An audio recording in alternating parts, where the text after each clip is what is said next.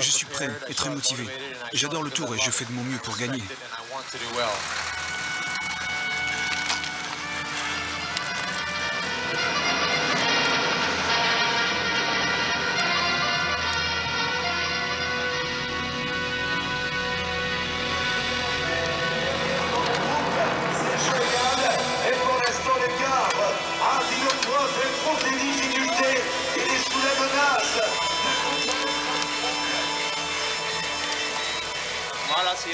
Et puis arrive ta première interview sur le Tour de France.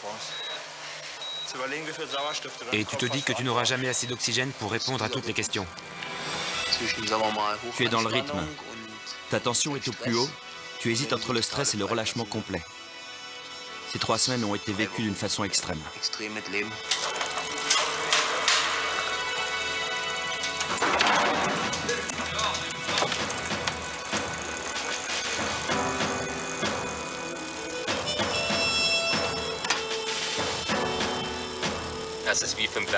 C'est un peu l'ascension de l'Everest quand on est alpiniste.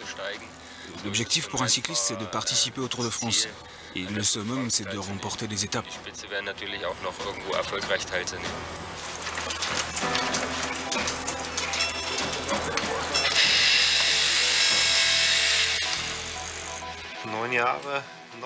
Aucune victoire en 9 ans. Ce serait super de pouvoir dire je suis passé près de la victoire sur certaines étapes. Parce que quand tu gagnes une étape en cyclisme, tu deviens presque immortel. Tu es jugé d'après ça.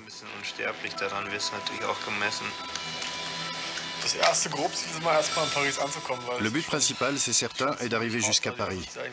C'est la course la plus rude du cyclisme professionnel. Le cycliste qui n'a jamais pédalé sur une distance aussi longue ne peut même pas imaginer la difficulté. Seuls les meilleurs réussissent à survivre. Surtout dans cette course, parce qu'elle ne commence vraiment qu'au bout de 14 jours. Les cyclistes tiennent le coup pendant 10 ou 14 jours, après ils sont à bout de force. C'est alors que la course commence réellement. À ce moment-là, il n'y a que les meilleurs qui s'imposent. Je suis prêt et très motivé. J'adore le tour. Et je fais de mon mieux pour gagner. Je n'ai rien d'autre en tête que la victoire. Pour moi, c'est le jour parfait. Le Tour de France, c'est la plus grande course du monde c'est une connerie. On vous dit le Tour de France vient en troisième position derrière les Jeux Olympiques et la Coupe du Monde du football. C'est une connerie. Le Tour de France est devant la Coupe du Monde de football et devant les Jeux Olympiques. Les Jeux Olympiques, ils n'existent pas comparé au Tour de France. On vous dit les Jeux Olympiques d'où? De Los Angeles, de, Berlin, de Paris, de, Tokyo, de Mexico? On ne sait pas. Le Tour de France, c'est toujours en France depuis 1903. Il y a eu 90 éditions, il y a des racines. Les Jeux Olympiques, ils n'existent pas. La Coupe du Monde n'existe pas. Le Tour de France, oui, ça existe. Et c'est pour ça qu'on aime le vélo parce que quand on était gamin, on a vu passer le Tour de France. Ensuite, euh, euh, vous l'avez vu passer avec vos enfants. Il y a, une, transmission de passion qui se fait au Tour de France et qui est unique. C'est la France, c'est les montagnes, c'est les plaines, c'est les landes, c'est la Bretagne. et ça, c'est le lieu idéal pour développer l'exploit.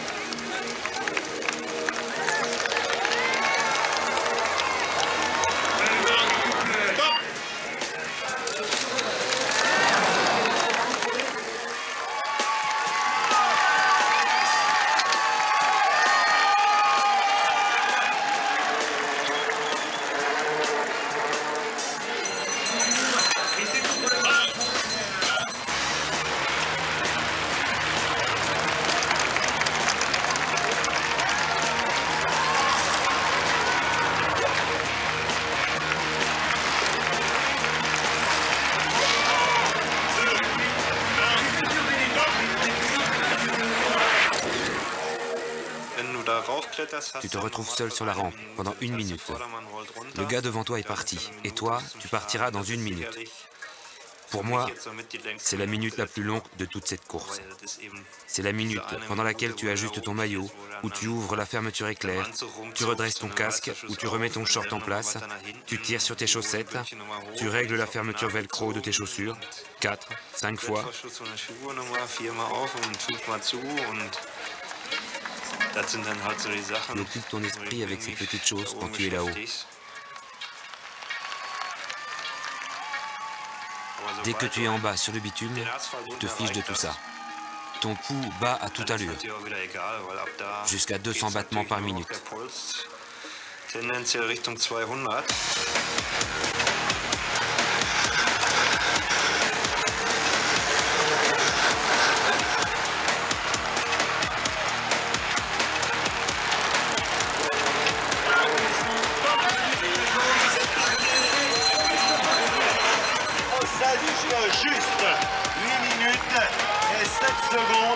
C'est le tenteur Rolf Aldag. Derrière lui, il y a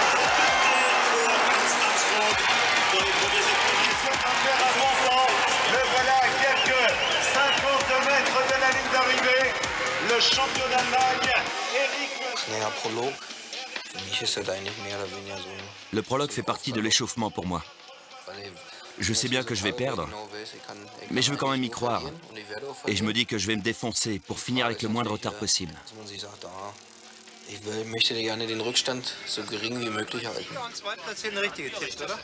Il est second. Tu crois? C'est lui le vainqueur au centième tour. C'est l'Australien. Il remporte le prologue en 7 minutes 26 secondes. Et le premier maillot jaune va à Botero de Télécom. Il est 9e, Rolf. Pour avoir notre classement, il faudra encore trois textos au moins.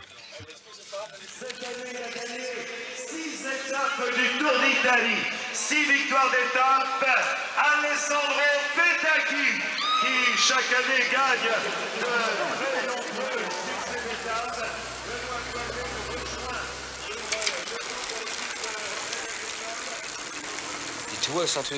Le Tour, c'est trois semaines de travail harassant, de stress, de plaisir, de souffrance. C'est tout ça à la fois. Certains jours, tu t'éclates, tout va pour le mieux, ou bien tu as réussi une sortie. Ces jours-là, tu es heureux. Mais il y en a d'autres. Quand tu as un coup de pompe qui te font vivre l'enfer, et tu ne peux jamais prévoir. Souvent, pour les étapes de montagne, tu te dis que ça va être très difficile. Et sans savoir pourquoi, tu es en forme, tu gardes le rythme. Et tu es détendu. Tout va bien.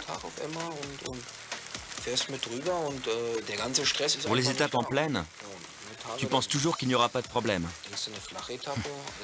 Mais comme ils foncent tous, tu es bien obligé de tenir la cadence. Dans le tour, c'est ça qui est bien. Tout est imprévisible.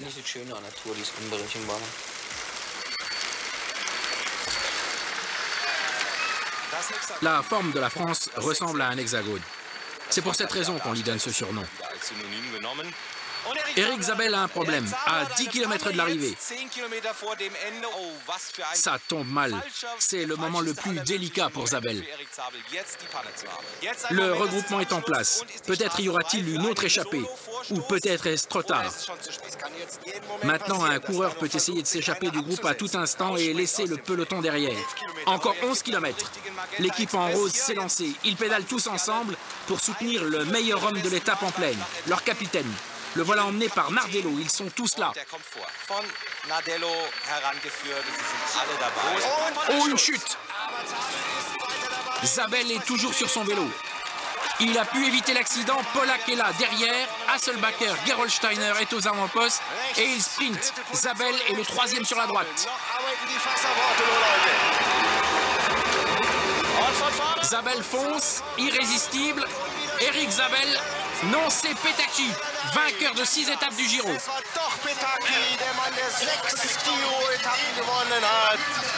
Revenons sur la chute qui retient le peloton. C'est Jimmy Casper qui y est tombé. Il semble s'être fait très mal. Maintenant, la situation en tête. Zabel en bonne position. Mais c'est l'équipe Fassa qui l'emporte. L'équipe Fassa qui était distancée au classement, elle l'emporte avec Petaki.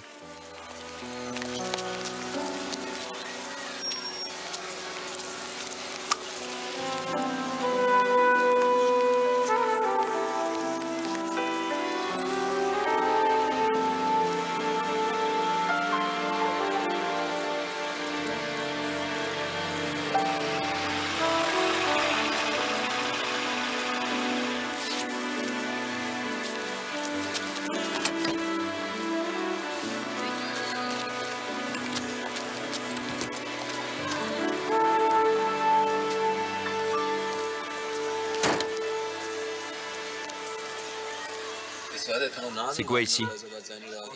L'os de la pommette Oui, oui, l'os nasal. L'os malaire, c'est vite arrivé.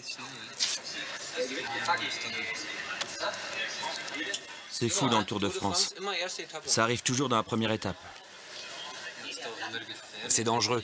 Il y a trop de choses qui traînent sur la route. Oui, c'est vrai.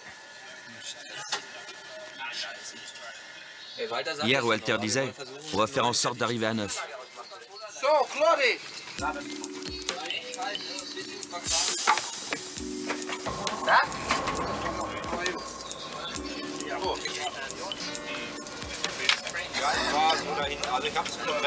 J'étais à l'arrière.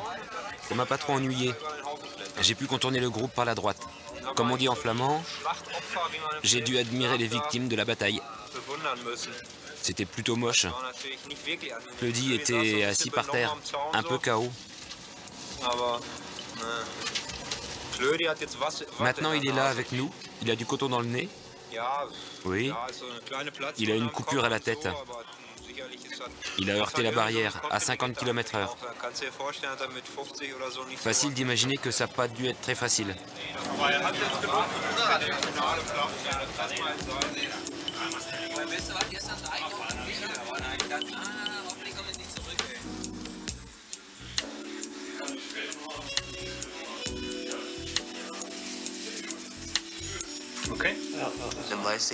Eh bien, tu sais, ce pauvre Claudie va passer une mauvaise nuit. Il doit avoir mal partout. Il ne pourra dormir que sur le ventre. Il aura mal quand il voudra se retourner. Les draps seront pleins de sang. C'est trop bête. Je n'ai même pas essayé de rester dans le sprint. J'ai été emporté dans cette chute par les autres coureurs. C'est ça qui m'énerve le plus. J'ai le visage plein de contusions et en plus, j'ai une entaille juste là, derrière.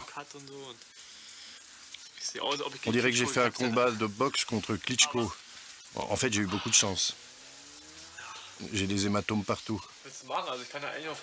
Là, derrière, à l'épaule et ici à la jambe. Je me sens comme un steak haché, mais... Tous les participants connaissent bien les risques de la course. On ne peut rien programmer et rien anticiper en fin de compte. Les choses arrivent et tu n'y peux rien. Et ça ne t'empêche pas de penser que ça arrive qu'aux autres.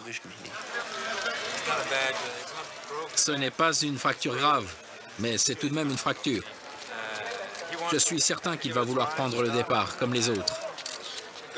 Il a été bien soigné, il va bien, il n'a pas l'air gêné. Évidemment, nous, on va l'aider autant qu'on pourra. Je ne sais pas s'il ira bien loin, mais il ne risque pas grand-chose en prenant le départ. Reste à savoir maintenant s'il supportera la douleur. Il n'y a que lui qui peut décider. Il a travaillé dur pendant neuf mois pour se préparer. Je comprends qu'il s'acharne. Le tour, c'est toute sa vie.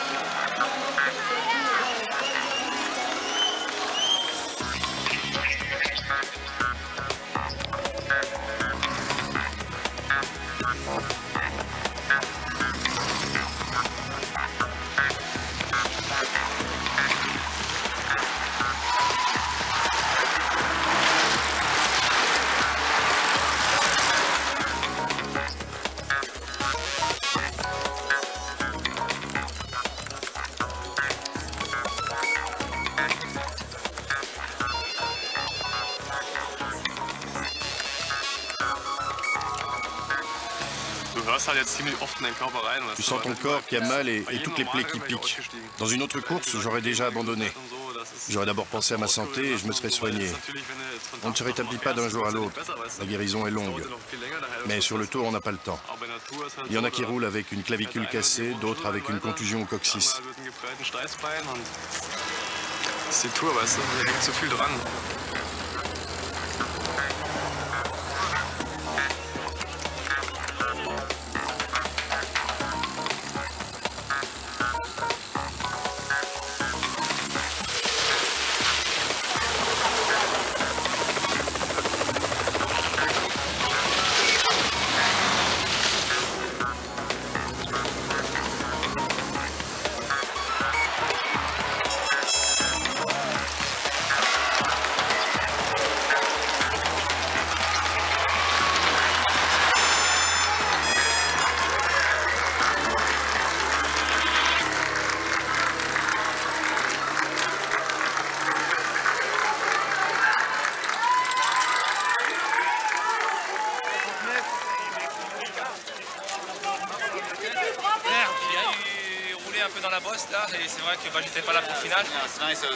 Ça va, je vais bien. En commençant ce matin, je ne savais pas si j'irais à plus de 10 km, mais, mais ça va là.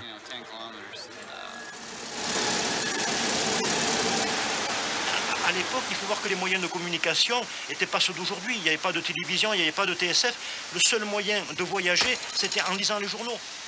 Et, donc, en 1900, à partir de 1903, en suivant les exploits des coureurs. Et c'était d'autant plus beau qu'ils traversaient des régions qu'on ne connaissait pas, ou des régions qui étaient à 20 km de chez vous, mais qu'on ne connaissait pas. La France était immense, et quand les coureurs font un tour de 2500 km, c'est colossal, c'est comme s'ils avaient été en Amérique, sur la Lune. Et donc c'est des coureurs qui faisaient ça. C'était des surhommes. Le départ de la première étape Paris-Lille est donné à la volée à Pierre Pitt.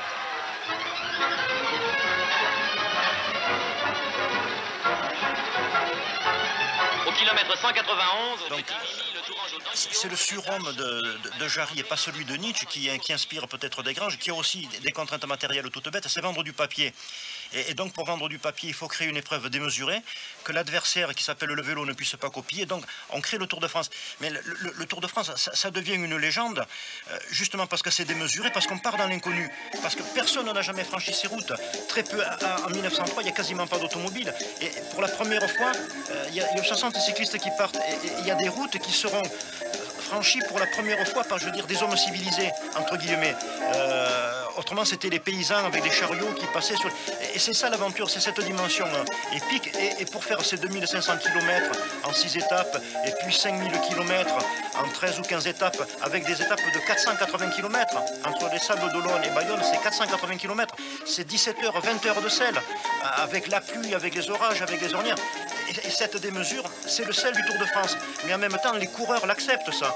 Ils savent que c'est leur gagne-pain. Et pour certains qui viennent de la mine ou qui viennent des usines, même si c'est dur, c'est beaucoup moins dur que d'être à la mine.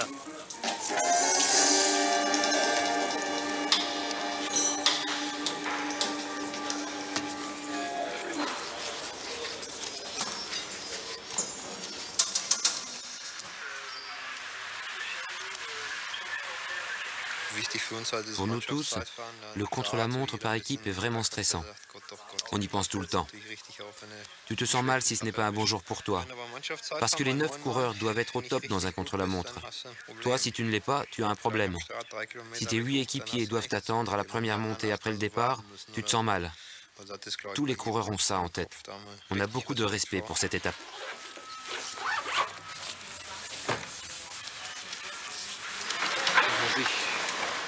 Chacun son tour, on peut se protéger derrière celui qui nous précède. Mais il faut sans cesse retourner devant. C'est comme ça qu'on peut faire un bon chrono. Le contre-la-montre par équipe est une très dure épreuve. On peut le dire.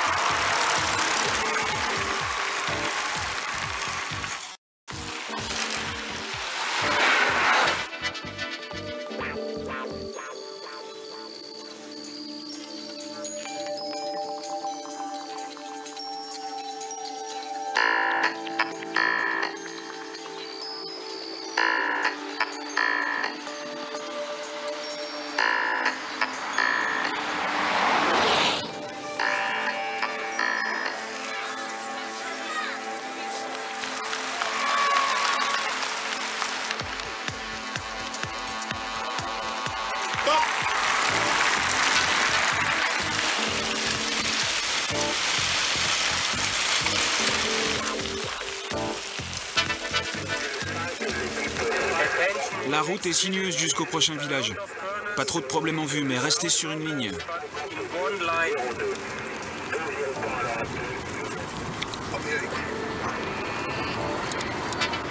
C'est bien, Eric, c'est bien.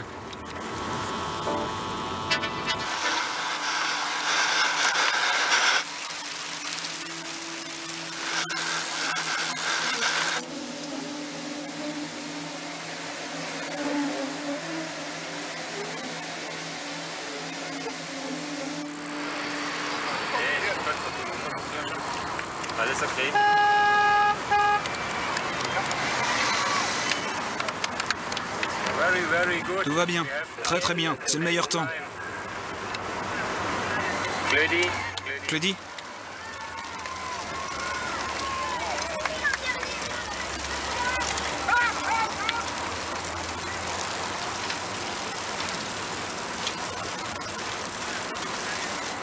Oui.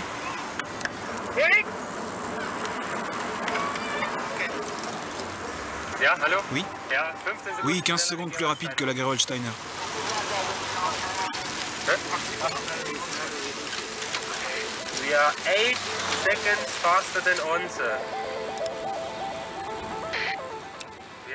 On est 8 secondes plus rapide c'est au kilomètre 20.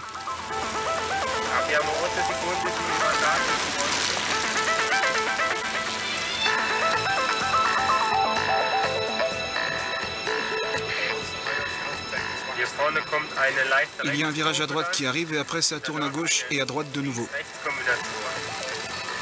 Right turn and uh, after them left and right again without problem. Mais c'est sans problème.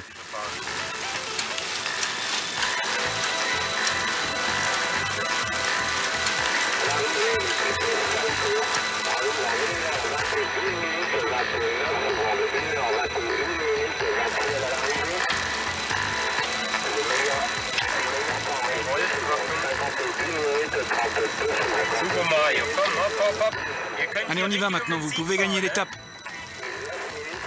Parfait, parfait, vous pouvez faire la différence ici.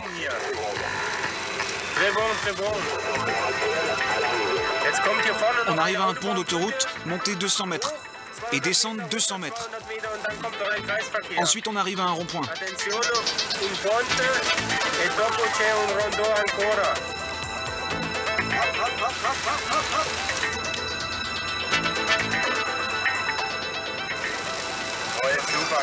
Ouais, bien joué. Ok. L'US Postal est à 8 secondes et Bianchi à 7 secondes.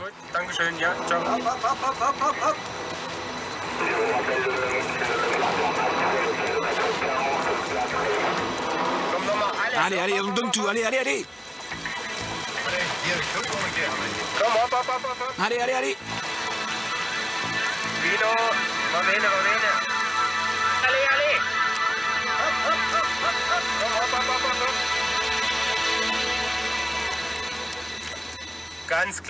Vous avez fait fort. C'était une très bonne course.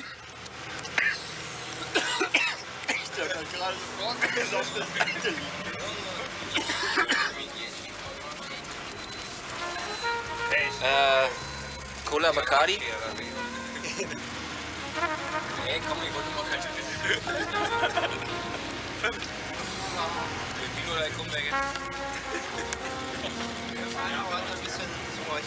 Wollte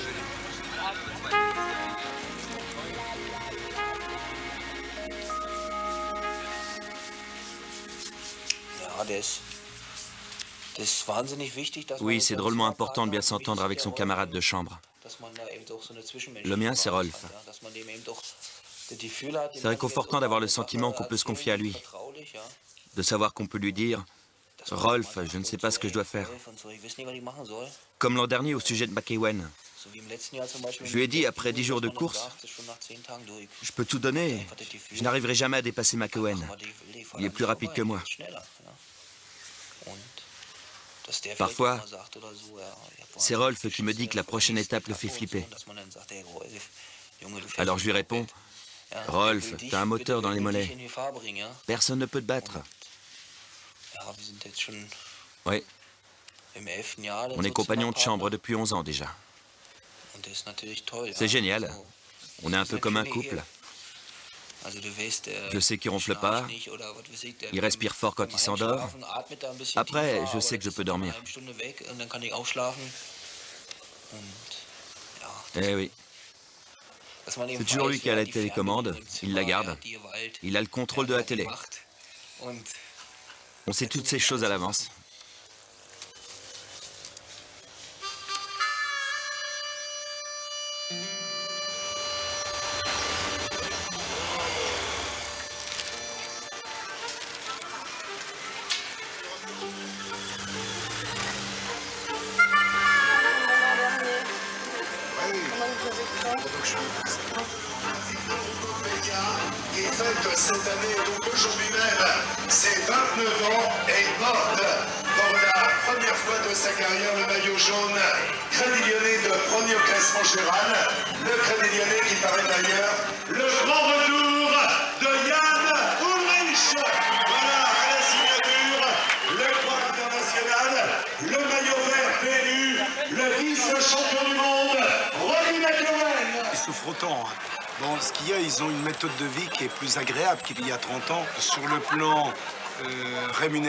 Il gagne plus cher qu'il y a 30 ans, où le coureur était très certainement l'un des sportifs les, moins payés.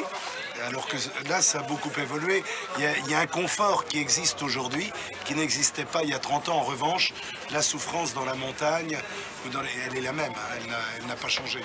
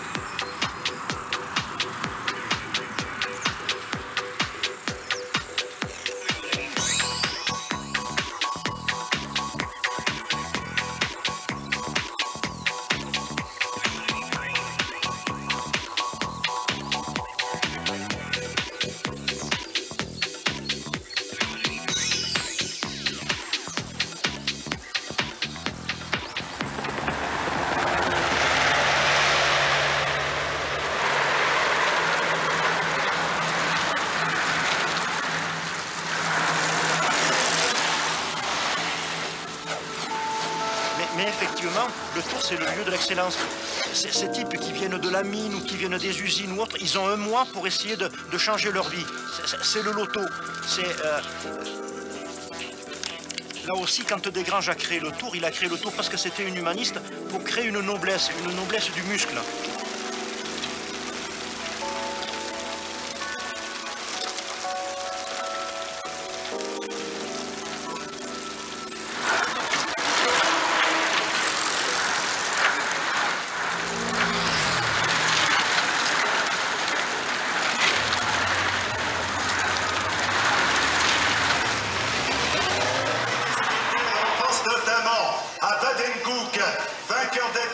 sur les routes du Tour.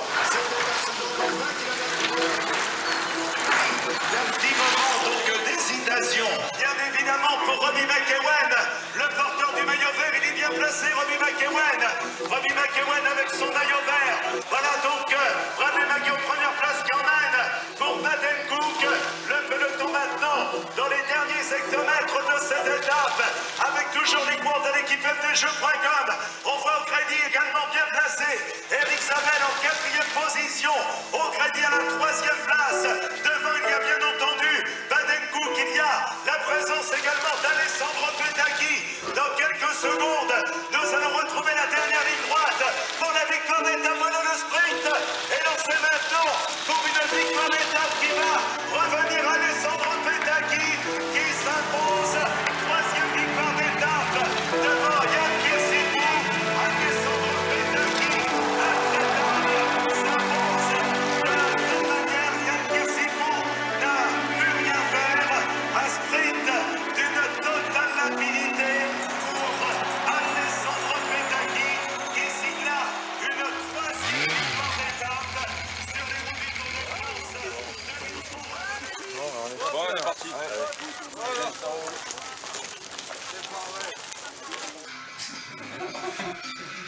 hat es doch nicht funktioniert, oder? Nee, nee.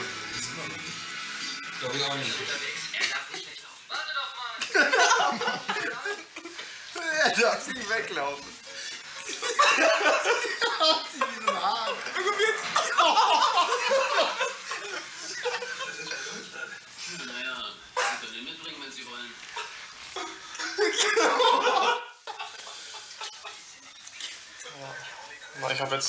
J'ai la nouvelle photo sur mon ordinateur. Ça pique un peu, mais ça va aller.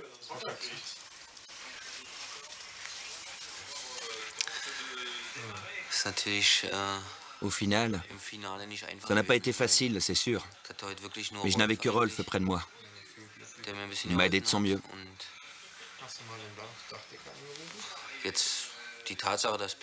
Le fait que Petaki soit très rapide et qu'il soit vraiment meilleur que tous les autres rend les choses plus faciles. C'est encore pire quand tu es deuxième ou troisième et qu'à chaque fois le vainqueur est différent. Parce qu'alors tu commences à douter.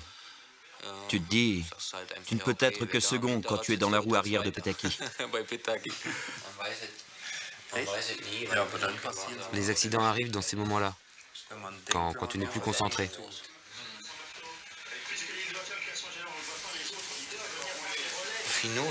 Fino, c'est bien celui qui s'est échappé à la seconde étape. Oui, c'est lui qui a le maillot du meilleur grimpeur.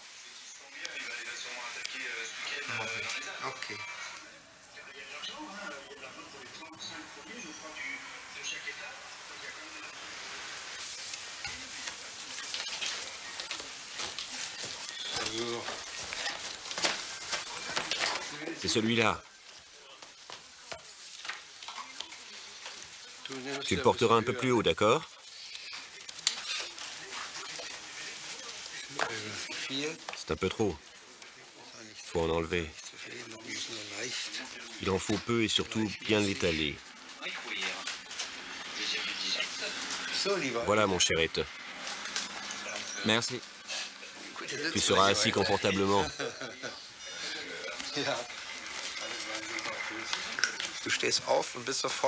À peine t'es debout que t'es sous pression. Les fiches, les sacs, on embarque les bagages quand?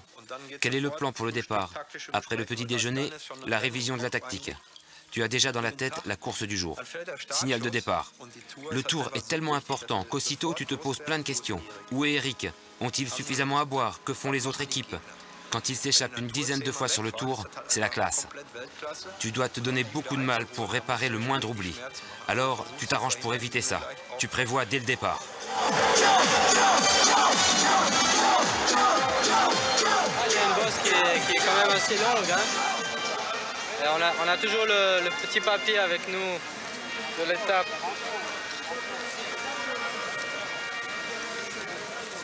Avec là, on peut voir toujours en course quand on regarde.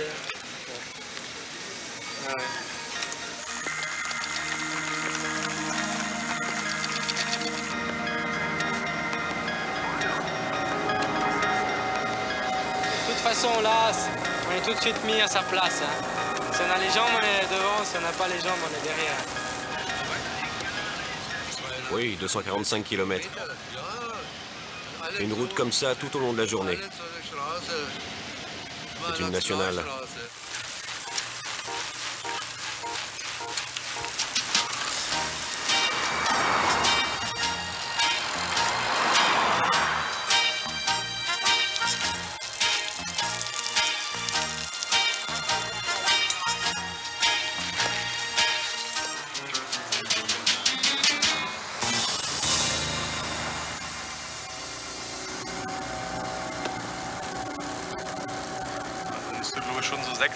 Prendre 6 ou 7 bouteilles. Tu bois en moyenne 3 à 4 litres.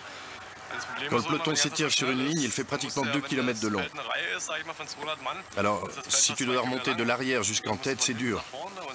On fait de notre mieux pour ménager Eric et lui éviter de descendre et ensuite de remonter. Ce sont les autres qui vont lui chercher les bouteilles. Mais souvent, c'est désagréable.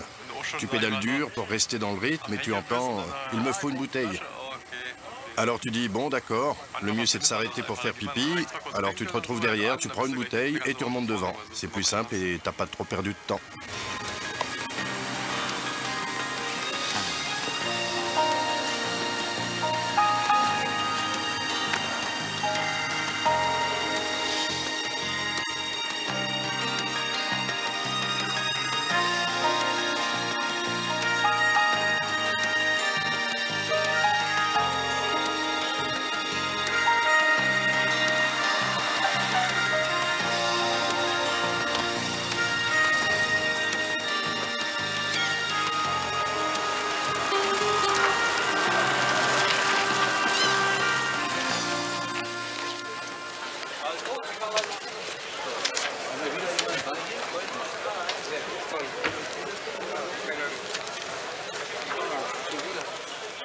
Allô, docteur?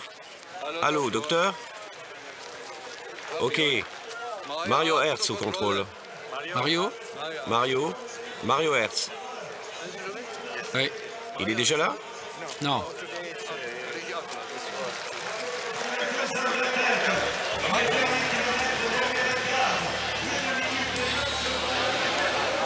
Toi qui es grand, tu vois s'ils arrivent ou pas? Oui, oui. Ils ont rattrapé les autres. Encore 2000 mètres à parcourir à l'avant-poste, Eric Zabel qui fonce. La journée a été dure pour tous ces coureurs.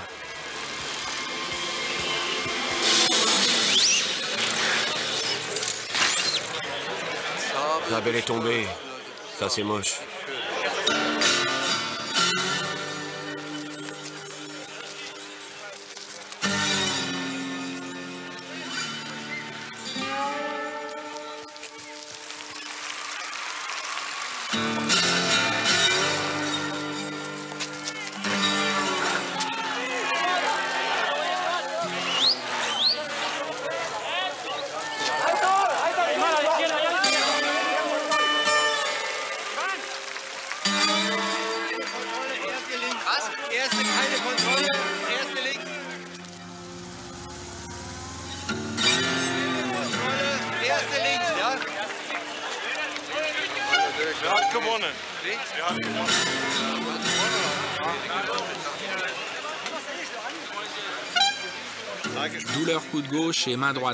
Le docteur espère qu'il ne s'est rien cassé.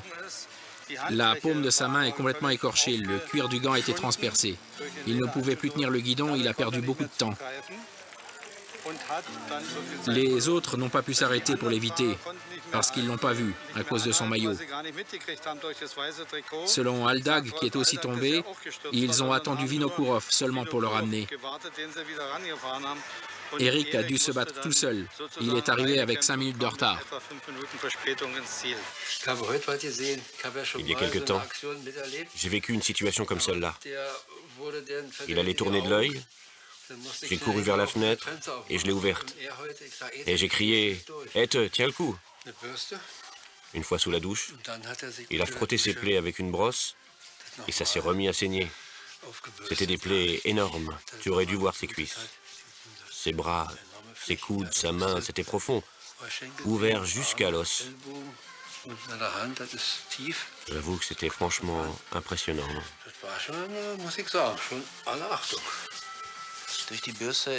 Avec une brosse?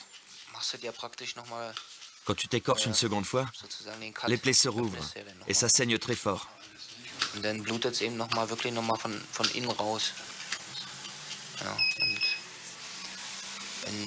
Oui, si tu passes juste une pommade nettoyante, t'en as pour 5 ou 6 jours avant que ce soit propre.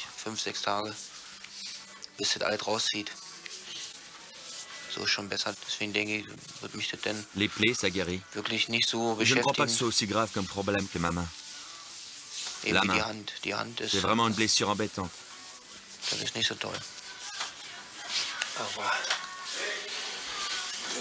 ce que je disais. La souffrance commence.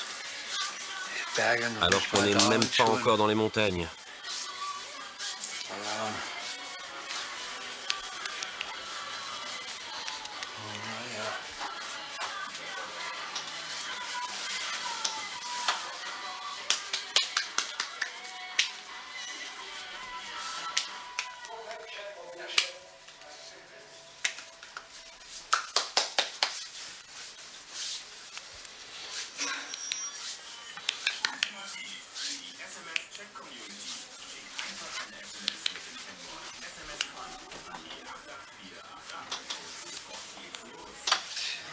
Mm-hmm.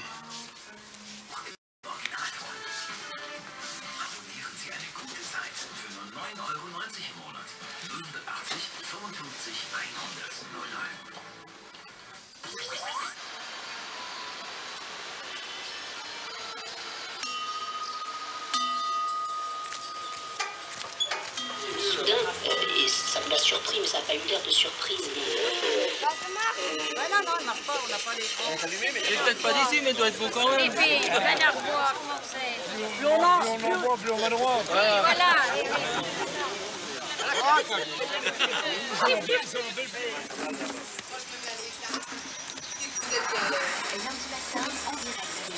Mal là. Ils vont passer là. Ils sont bientôt à Messi à 3 minutes et 2 secondes. À 3 km.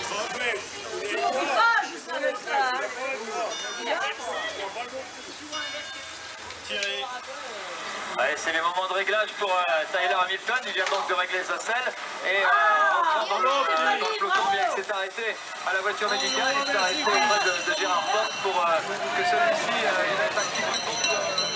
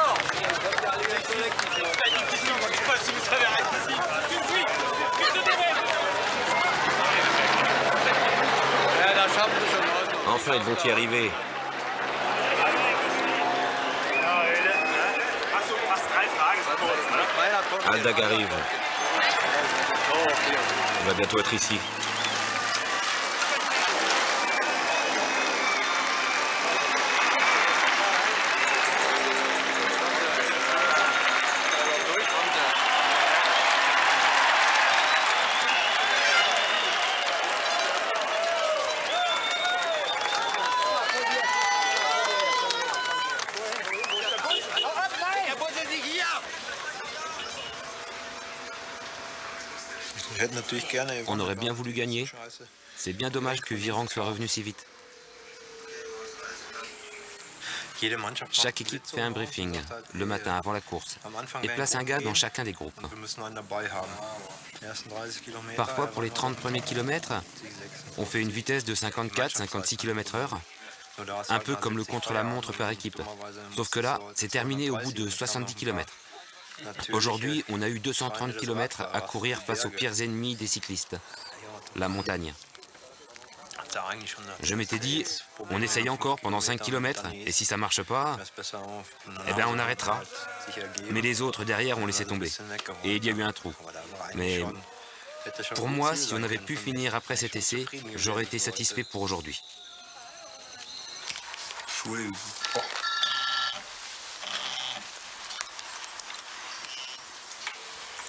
Secrétariat de Monsieur Aldag, le meilleur grimpeur du monde.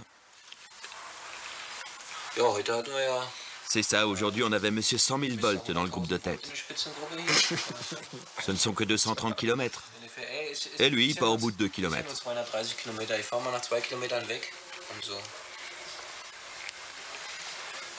Rolf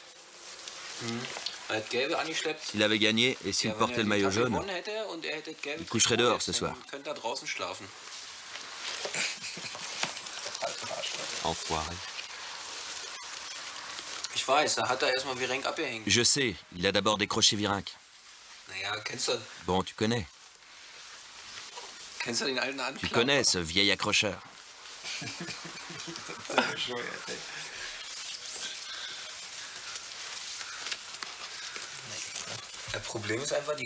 Le problème est que ces carnes Virenque et Rolf, euh, et Bettini, n'ont pas souvent été en montagne avec Rolf. Sinon, ils auraient su qu'il... Exactement. Rolf s'est dit, rira bien qui rira le dernier. Rolf porte le maillot à pois rouge.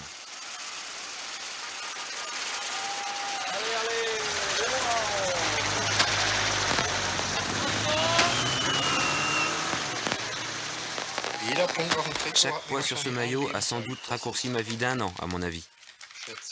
Et il y en a beaucoup dessus. Si je n'avais rien gagné, ils auraient dit Qu'est-ce que t'as foutu Tu glandes en tête tout le temps et ils te décrochent Tu ne peux pas faire ça chez nous. Ils te tirent les oreilles. Les miennes sont assez longues. Pas besoin qu'elles s'allongent encore. C'est pas mon truc. Quand tu réalises combien cet événement est important. J'ai oublié d'éteindre mon portable. J'ai reçu 27 appels pendant mon absence. J'en ai jamais eu autant en un mois. Et environ 15 messages en plus. Quelle mollasson je fais.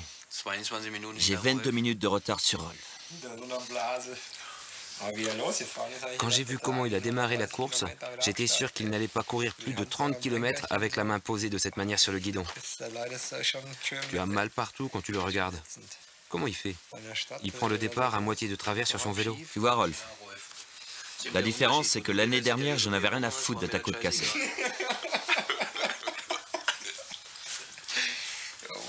Attends un peu, toi.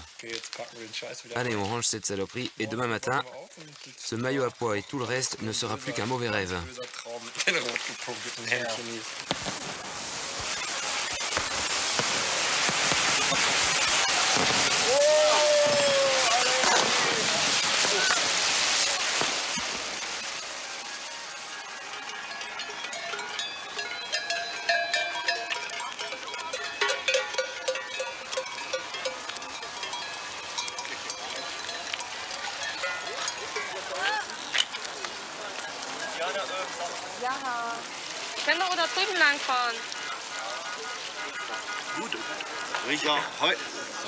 Riecher und Jan Ulrich und äh, Armstrong.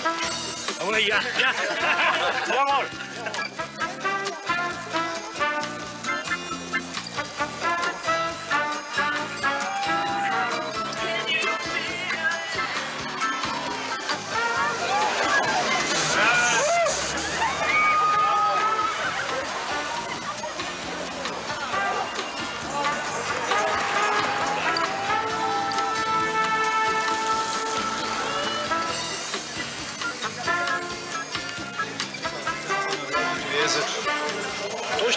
Alpine West termina la ottava etapa del Didier Rousse. Er.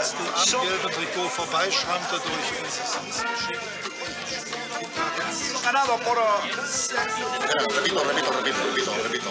Uno, dos, tres. El West termina. Rolf Aldag est en train d'accuser le coup après l'effort qu'il a fourni dans la grande course d'hier, mais c'est la dure loi du sport.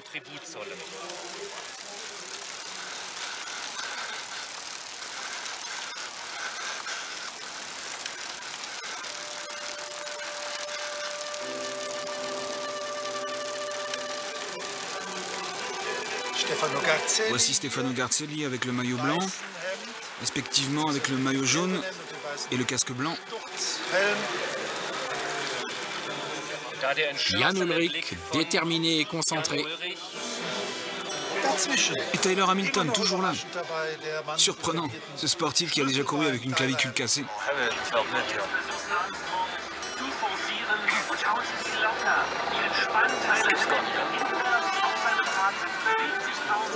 Il a en effet réussi il y a deux ans un exploit formidable sur le Tour d'Italie au prix d'une grande souffrance. Il a tenu jusqu'au bout de la course. Il est arrivé second et il s'est ensuite fait examiner par le médecin. Et c'est à ce moment-là qu'il a découvert qu'il avait la clavicule cassée, ce qui prouve que Tyler Hamilton a une formidable résistance à la douleur. Il était en très grande forme.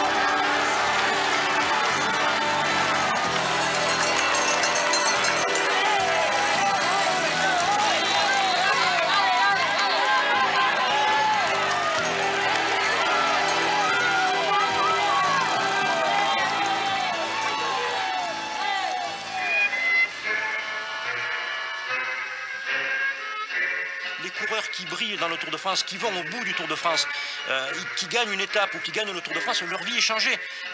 Ils, ouvrent, ils vont ouvrir une boutique qui va s'appeler au Tour de France, ils vont ouvrir des cafés, comme beaucoup de Belges qui vont s'appeler au maillot jaune, au Tourmalet, etc. Le Tour de France change la vie.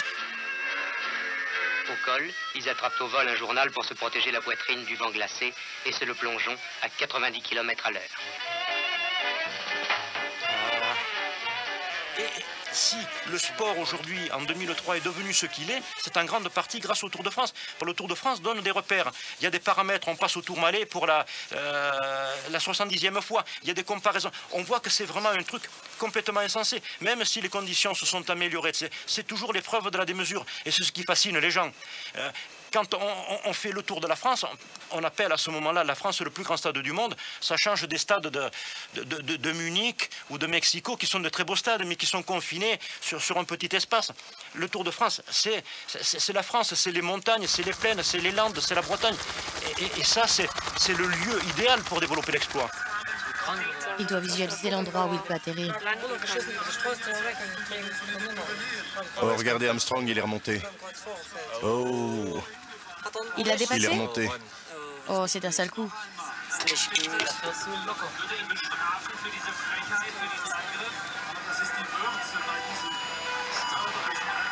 Oh, il est vraiment très fort. Il le laisse derrière.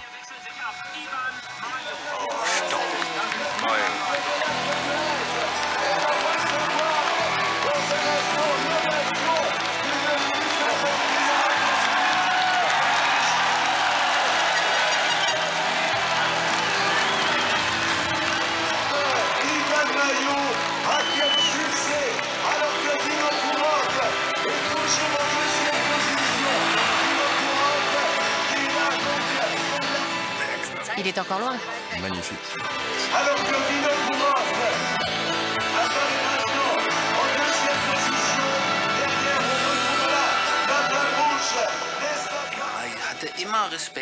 J'ai toujours su rester humble devant la montagne. Mais en plus, cette année, j'avais peur. C'était différent. L'humilité, la concentration, tu en as besoin. Sinon, tu n'arrives pas à trouver la force en toi pour affronter la montagne. Mais si tu as peur, tu n'arrives pas à te concentrer. Et tu cogites. Tu te dis, je dois à tout prix franchir cette montagne, et je dois le faire vite, sinon je vais me planter dans mon temps. Ou bien, oh merde, si jamais les autres partent trop vite, je vais décrocher et je serai incapable de les rattraper. Et même si j'arrive à les rejoindre à l'arrivée, la note va être salée pour la course le lendemain. Il ne faut pas qu'un coureur réfléchisse à non plus finir. Si tu te tracasses sans arrêt pour un oui ou pour un non, tu n'arrives plus à rien. Si tu te sens un peu fragile, c'est là que tu as tendance à réfléchir. Et ça, c'est vraiment pas conseillé. Rolf a été trop loin. Il s'est mis en mauvaise posture et maintenant il a le couteau sous la gorge. De mon côté, tous mes rêves se sont évanouis en une seconde. C'est fichu. Maintenant, je ne cours plus pour le maillot vert. Et même si je gagne une étape, ça ne sert plus à rien. Ma chute a bouleversé tous mes projets. Tout ce que j'ai en tête, c'est que ça va être très dur pour moi.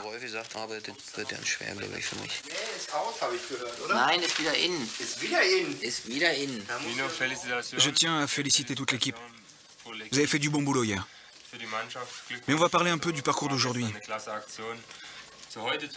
Ça commence à monter au kilomètre 4, et cela pendant 34 km. Le sommet est donc au kilomètre 38. Après, vous avez l'isoar qui est assez pénible parce qu'il est très irrégulier. La course est déjà difficile en elle-même, mais si en plus tu as des problèmes physiques ou mécaniques, c'est la merde. J'ai beaucoup de mal à rouler en danseuse. Je ne sais pas comment je vais m'en sortir lors d'une échappée. La douleur est insupportable. Hier, on m'a fait une piqûre, mais j'ai à peine senti une amélioration. Ça ne m'a pas vraiment aidé. J'ai très mal dans le bas du dos et c'est tous les jours maintenant. Je verrai bien comment ça va demain au départ. C'est de la plaine demain. On verra.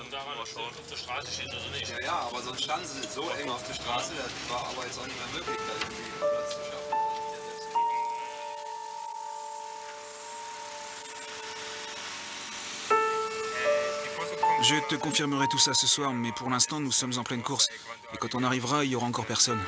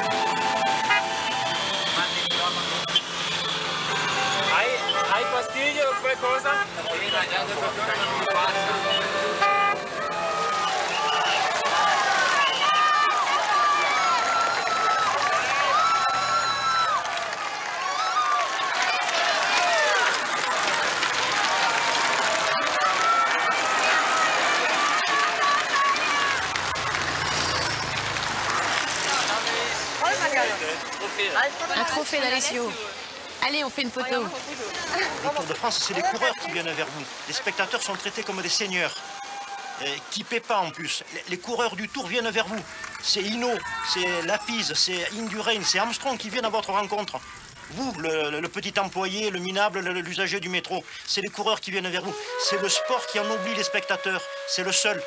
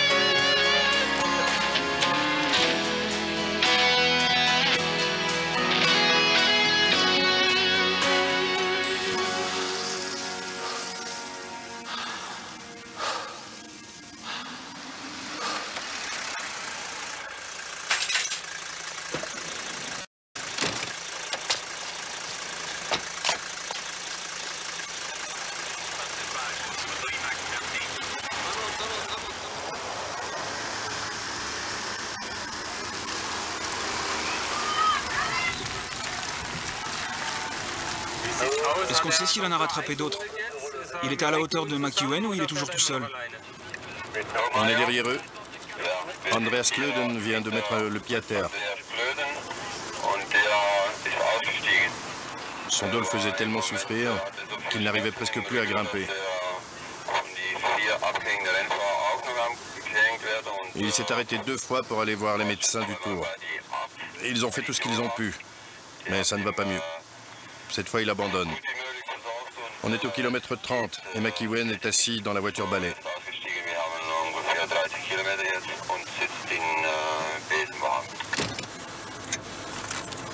Ok, c'est vrai que c'est dommage, mais on n'est pas des machines. Le corps a ses limites. Quand la douleur devient trop pénible à supporter, il faut se faire une raison et abandonner la course. Je vais prévenir la voiture d'approvisionnement d'aller le prendre.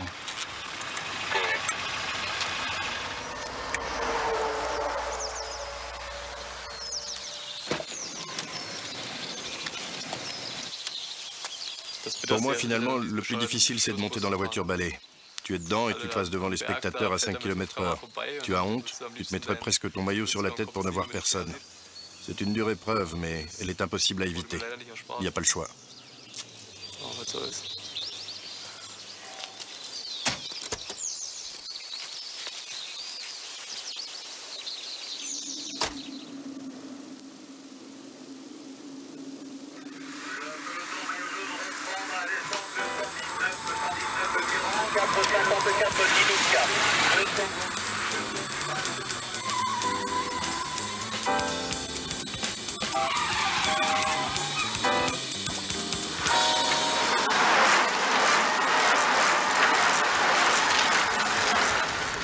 Alexandre Vinokourov a 1 minute et 17 secondes de retard sur le classement général. Mais le tour se gagne en plusieurs étapes. On peut chaque jour rattraper quelques minutes de son retard comme le fait Alexandre Vinokourov. Vino, 20 secondes pour Armstrong. 20 secondes pour Armstrong. Attention dans le descente. La course contre la montre est aussi un élément très important dans un tour et Vinokourov est très fort pour ça. Armstrong, lui, est fort en vitesse pure, mais il a encore assez de réserve pour se battre sur la longueur. Si certains coureurs attaquent dans les Pyrénées, il aura le répondant qu'il faut pour réagir et contre-attaquer.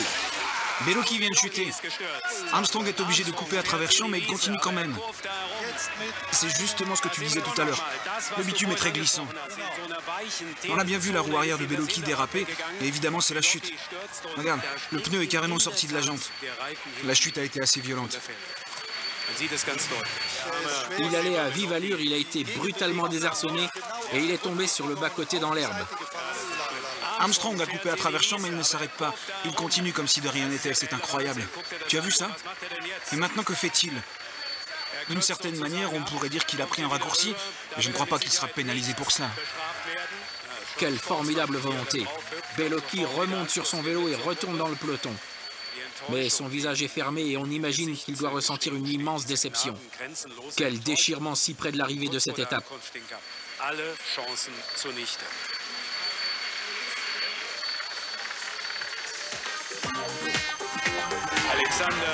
Alexandre Vinokourov, lui, au prix d'un grand effort, arrive en tête. Et gagne cette neuvième étape ici à Gap. Allez, Vino, allez, allez, allez, très bon, très bon. Il n'a plus que 20 secondes de retard sur Armstrong. Il remonte au classement à la deuxième position. Très bon, Vino. Félicitations, félicitations.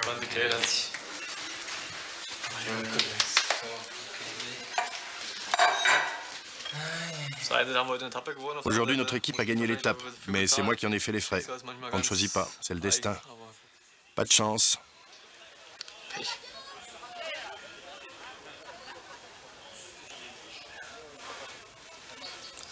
C'est la vie.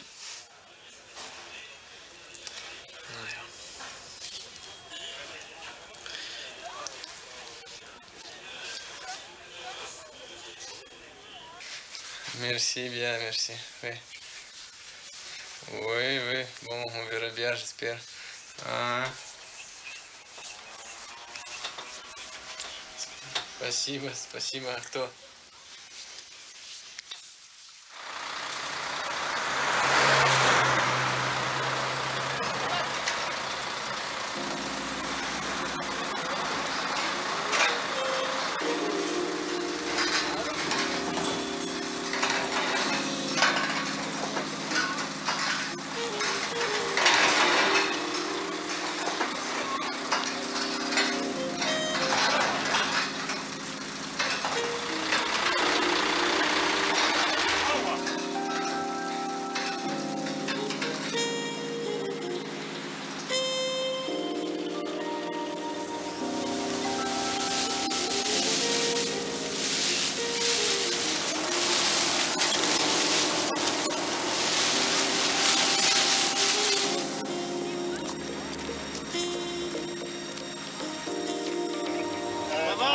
Là La match suivante. Ça va Tu as bien récupéré hier, bien Tant mieux. Allez, c'est Ouais. Bien, bien, bien,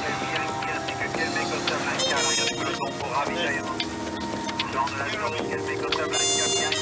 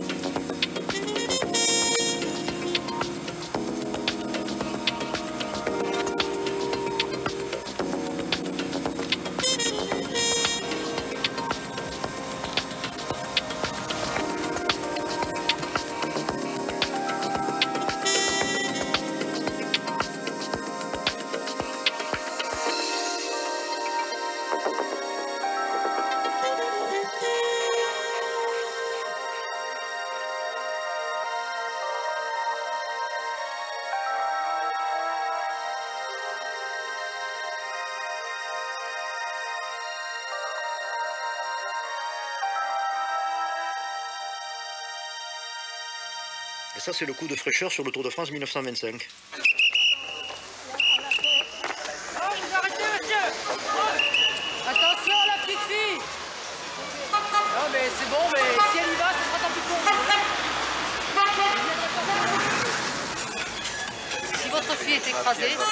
Vous ne viendrez pas pleurer, monsieur. Justement, ce sera bien de votre faute, monsieur. Souriez, vous êtes Un adulte, un adulte est quand même un, peu plus responsable. Tant pis pour vous, monsieur. Je crie, monsieur, c'est de ce que vous m'entendiez. Si vous n'êtes pas content, c'est pareil, monsieur. Il n'y a pas de problème, monsieur. Si on se rencontre un jour, monsieur, vous vous souviendrez de moi.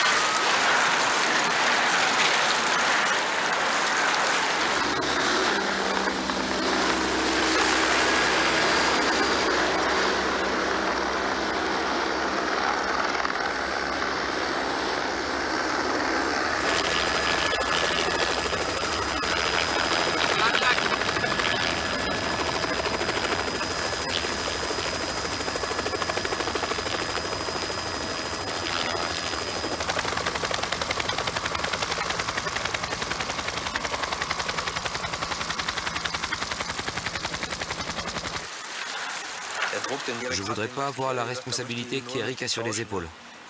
Imagine un peu, tu as une étape de 200 km. Il y a eu une échappée et le peloton de tête a déjà 8 minutes d'avance. On est à 70 km de l'arrivée et il faut remonter jusqu'en tête. Il faut aller les chercher. Pour rattraper les premiers, il te faut 4 hommes.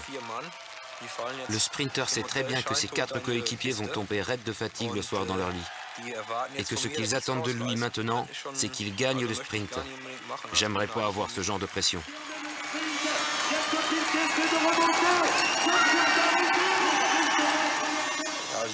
Quand tu es sprinter, ça veut dire que tu dois donner le maximum et même au-delà. Tu dois avoir aussi une grande confiance en toi. Si tu as du culot, si tu tentes des trucs et que ça marche, alors tu gagnes en confiance. Et tu recommences le lendemain et tu essaies autre chose.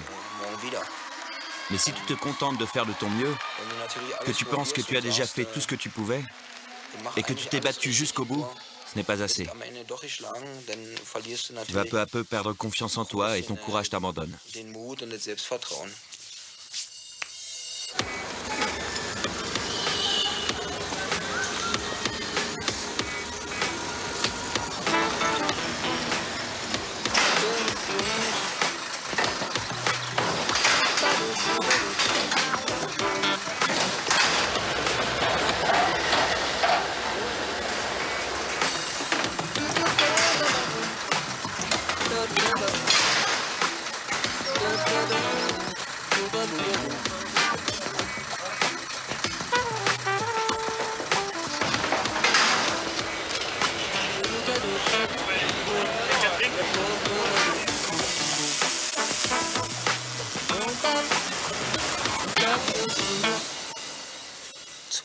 Je pense que j'ai deux chances à saisir. Une à Paris et une autre à Bordeaux peut-être. Je dois tout faire pour que physiquement et psychologiquement, je me sente bien. Je dois me sentir assez fort pour que mes performances soient correctes. Et j'ai aussi besoin que le bon Dieu soit à mes côtés ces jours-là.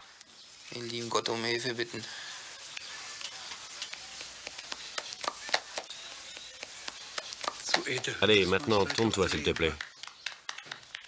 Oui, attends. Tu vas t'allonger sur le dos. Voilà, comme ça. C'est mieux de se raser les jambes. C'est plus facile pour soigner les plaies. On tombe souvent sur la route, au moins deux ou trois fois sur un tour. La première semaine, vous avez bien vu qu'on est tous tombés au moins une fois. C'est plus facile aussi quand on vous enlève les bandages. Évidemment, c'est bizarre de se raser en prévision d'une blessure. Mais c'est aussi pour moins souffrir lors des massages. Les kinés te malaxent dans tous les sens. Et si tu ne t'es pas rasé les poils,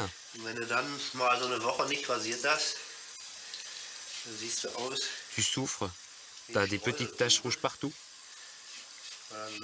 Et tu peux même avoir des infections à la racine des poils. Ce n'est vraiment pas très esthétique et en plus ça démange.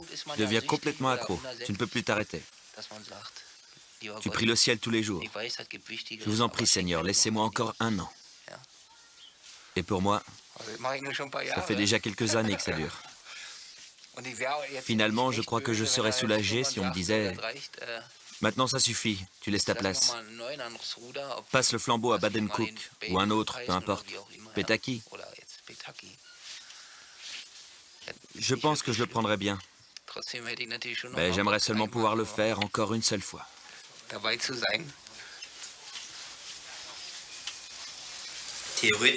On est à mi-parcours, mais il y a encore deux contre la montre. Il faut juste qu'on réussisse à arriver dans les limites. C'est possible. On fait mieux de 30% que le meilleur temps. Ensuite, il y a l'étape de Paris. Ce n'est pas une étape trop angoissante. On commence par rouler tranquillement. Et ensuite, une fois à Paris, il y a une telle ambiance qu'on a des ailes. On a l'impression qu'on est invincible. Après ces trois étapes, on sera largement à plus de la moitié du tour. Il suffit d'arriver à se rassurer soi-même et à se motiver pour que ça te donne du courage et c'est parti.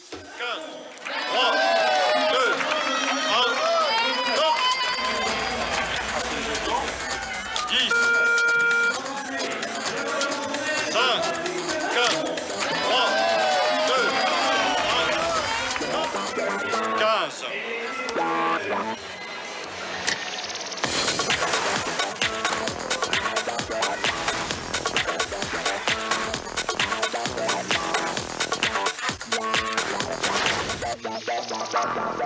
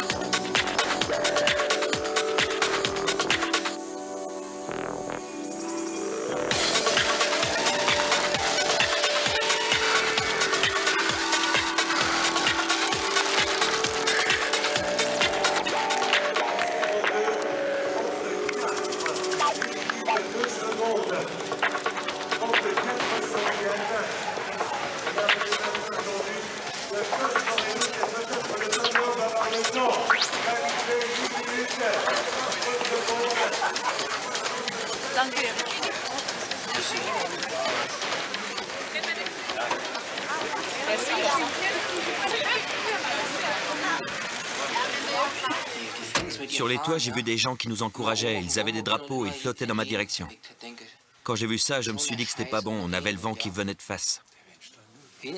Après, un peu plus loin, on était un peu à l'abri du vent et j'ai cru que ça irait mieux. Mais le bitume était trop inégal. Il n'aidait pas non plus. Oui, la route était mauvaise. Il n'y a qu'un seul moment où j'ai bien roulé, où les conditions étaient bonnes. Et le virage suivant, paf, encore des problèmes. Ça finit par te taper sur le système et tu perds ton énergie.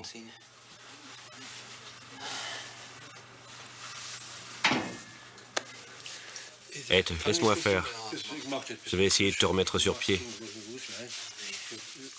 Allez, vous vous remettez en selle, vous repartez. J'ai cru que j'allais péter un plomb.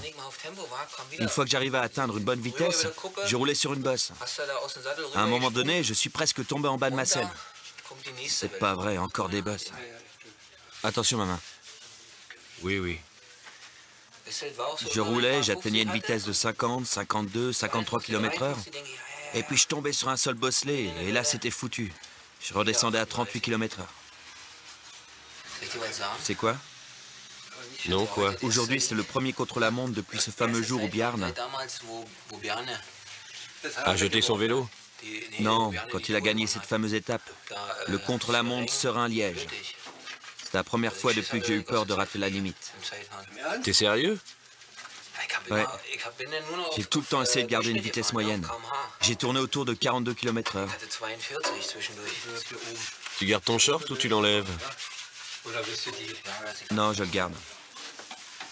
Tu te rends compte 42 km/h de moyenne. Ça ne peut pas être plus nul.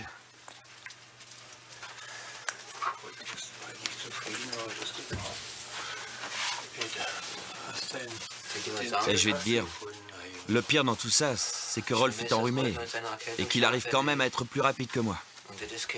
C'est pas bon pour le moral, un truc pareil.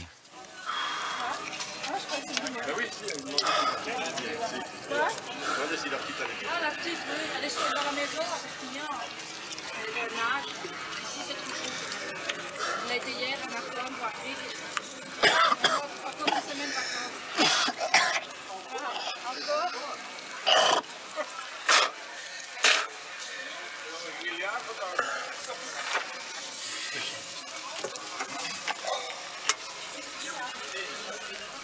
Tu veux un peu d'eau sur ta serviette?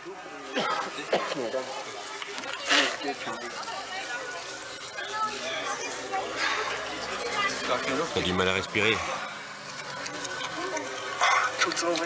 Quand je tousse, j'ai mal.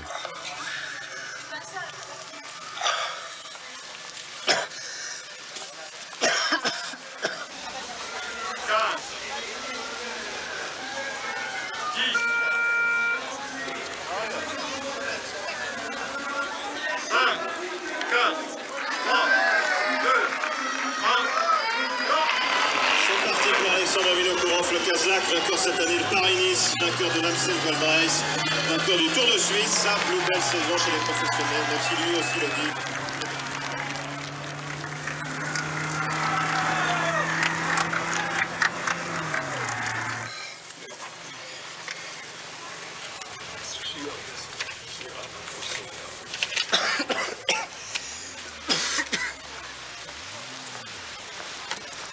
Ça ne présage rien de bon si tu veux le savoir.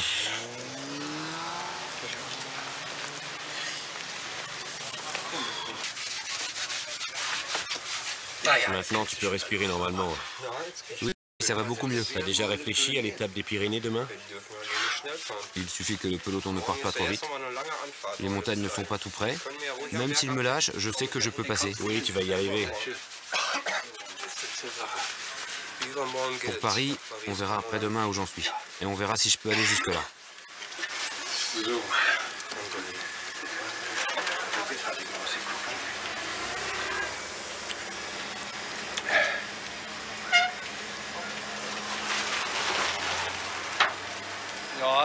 Étaient vraiment au bout du rouleau. Rolf a attrapé froid. Il a une vilaine bronchite. Ça ne va pas être facile. Rolf est plutôt, enfin, je ne sais pas vraiment quoi dire. En fait, je m'inquiète pour l'étape de Paris. Je me demande s'il va y arriver. Yann Ulrich, 58 minutes 32 secondes. Deuxième.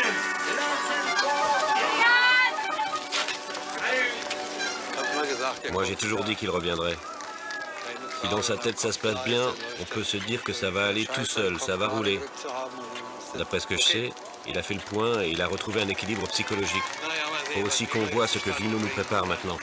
Allez, Vino, allez, allez, les derniers 10 km, les derniers 10, 10 km. À gauche.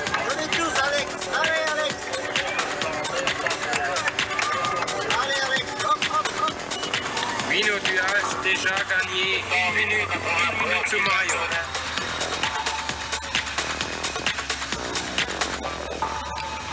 Vino, dabei, dabei, dabei, dabei, dabei, dabei.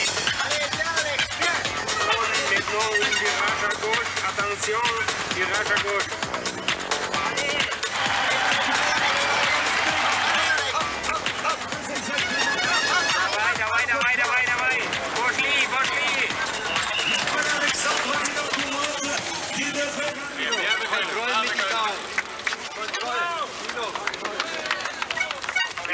Félicitations. Très bon, très bon.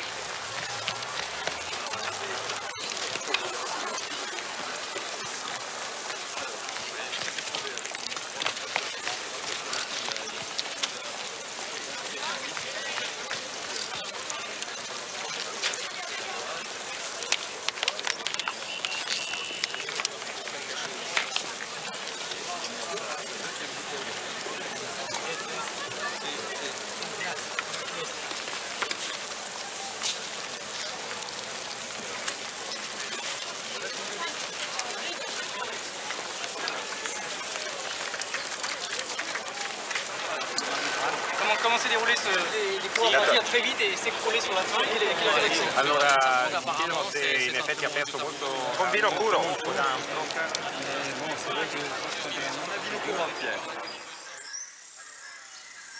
Il y a deux sens, à mon avis, dans le, sens, dans le mot souffrance. Le mot souffrance peut être péjoratif. Par exemple, si je recherche la souffrance pour souffrir, très mauvais ça. Ça, c'est pas bon. C'est malsain, ça veut dire qu'on n'est pas bien dans la, dans la tête. J'allais dire autre chose. Par contre, la souffrance que l'on peut être appelé à vivre et à dépasser sur un effort et à force de, de doses d'efforts violents, ça c'est totalement différent. Ça c'est positif, ça c'est beau, ça. Ça c'est beau parce que ça rappelle le courage, la persévérance, la fidélité, l'abnégation, la modestie et l'amour. Donc là, à ce point de vue-là, la souffrance qu'on éprouve en s'entraînant, en faisant des épreuves sportives, des compétitions, en pratiquant des métiers qui demandent un effort, et la souffrance religieuse, c'est la même chose, ça. C'est pareil, c'est l'amour, ça. Ça, c'est beau. Ah, moi, j'aime ça, moi.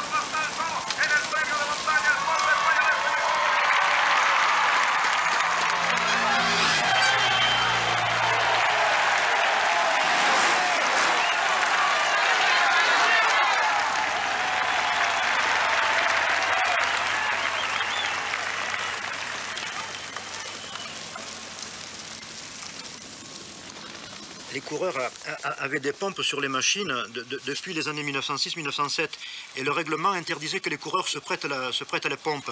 Il y a un type comme François Faber qui était, euh, euh, qui était un, grand coureur mais qui était un type merveilleux, très généreux. Pour pas euh, faire suspendre ses collègues, quand il voyait qu'un collègue n'avait plus de pompe, n'avait plus de boyau, il laissait délicatement sur le bord de la route sa pompe et son boyau pour pas que les commissaires le, le, le, le coincent et pénalisent l'autre.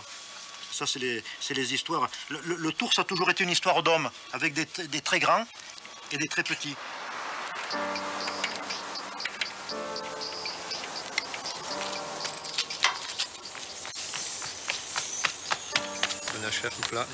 Si le leader du groupe est victime d'une crevaison et que les autres sont obligés de continuer, c'est pas terrible pour le moral, ni des uns ni des autres.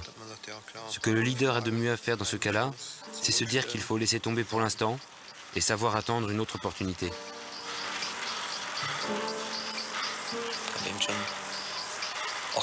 Rolf m'a apporté tellement de victoires sur un plateau. Il s'est souvent sacrifié et il a toujours mis le meilleur de lui-même dans toutes les courses.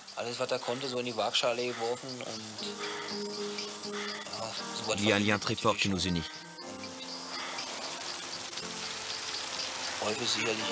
Rolf, c'est quelqu'un en qui on a une entière confiance. On peut compter sur lui.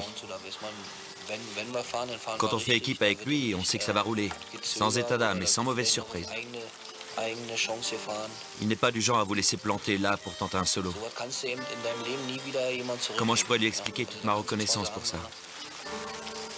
Je peux toujours lui dire, je te revaudrai ça, mec. Je t'en serai éternellement reconnaissant. Mais ce n'est rien à côté de ce que je lui dois. Vous allez me dire qu'après tout, c'est notre boulot et qu'on est payé pour le faire. Mais il y a autre chose. Ça fait longtemps qu'on roule ensemble et il y a une complicité entre nous qui dépasse le côté professionnel.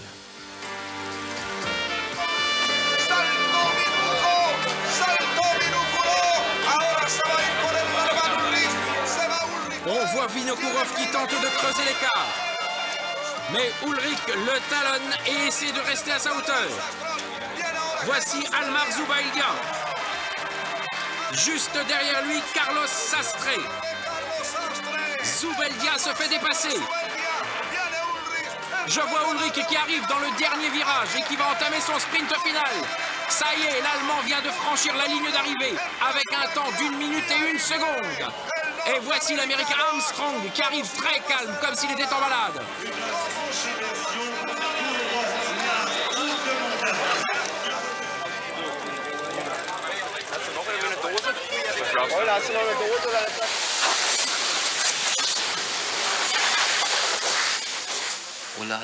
Ulrich est un coureur de grand talent.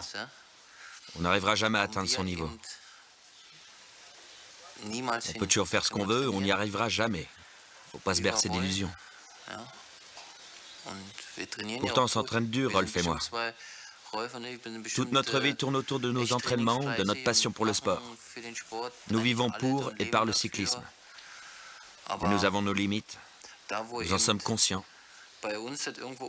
Et il faut avouer que c'est surtout dans la montagne que Ulrich fait la différence. Il a la chance d'avoir un don naturel. Un talent qui fait cette différence. Armstrong aussi a ce don. Il y a peut-être deux ou trois autres cyclistes au monde. On est en admiration devant ce cadeau du ciel. Et ça fait plaisir de voir qu'il l'a retrouvé.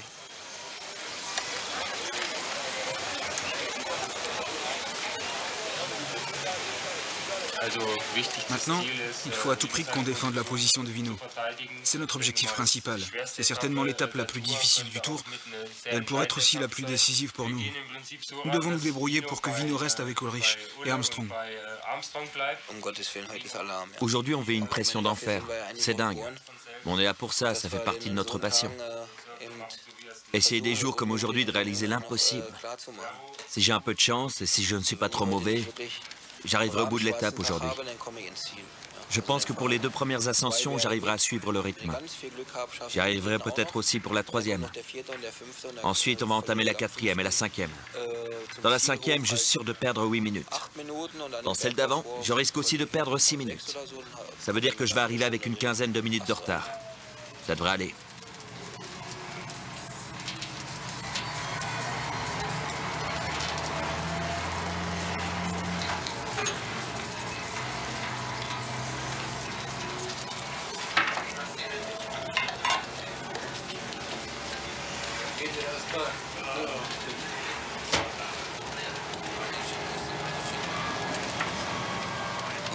Un jour comme celui-ci, on se dit que c'est vraiment insupportable tout ça, on n'en peut plus.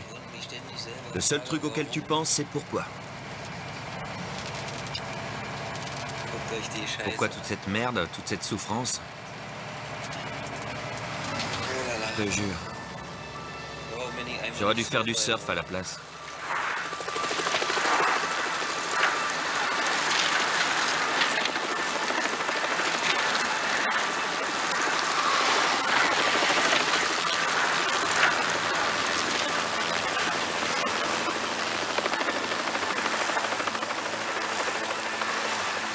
Bien sûr, c'est inévitable d'avoir peur.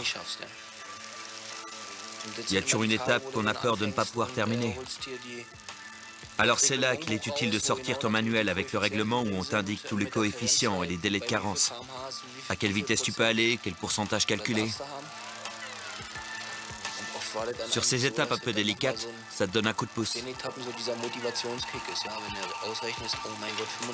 Si dans tes calculs tu arrives à disons 35 minutes et que tu te dis que ça va être un peu juste, tu sais que cette montagne tu dois la passer à n'importe quel prix et que si tu es lâché à 5 km du sommet, c'est là que tu dois faire le plus gros effort et tout donner à la descente. Tu dois absolument revenir parce que si tu n'es pas revenu dans le peloton avant d'arriver en bas, t'es foutu.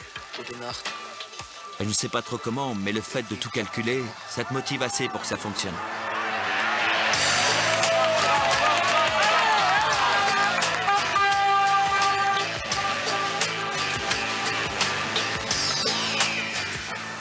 Dans la descente aussi, c'est primordial de rester concentré. Tu es saoulé par la fatigue, tu vois trouble, tu as la tête qui tourne, et tu descends en tremblotant. Tu perds du temps et tu rates tous tes virages parce que tu n'as plus le contrôle. On a pu constater que McEwen a eu un passage difficile, mais il est bien revenu dans le peloton.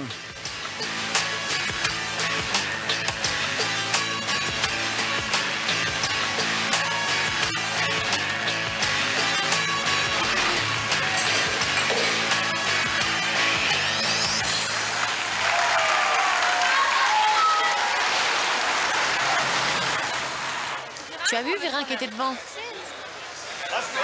Est-ce que tu as vu Ulrich? Génial. On va boire un coup.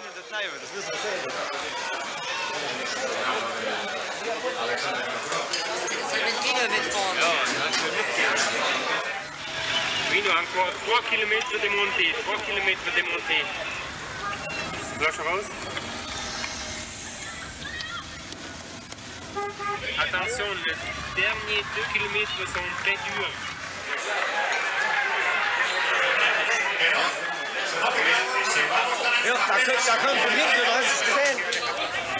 Allez, Vino, allez, allez, allez, allez. Allez, Alex, C'est pas vrai. Il passe devant. C'est bon, Vino. Là est Nardo. Nardo ti aspetta. 45 secondes, arrière. C'était faux aussi.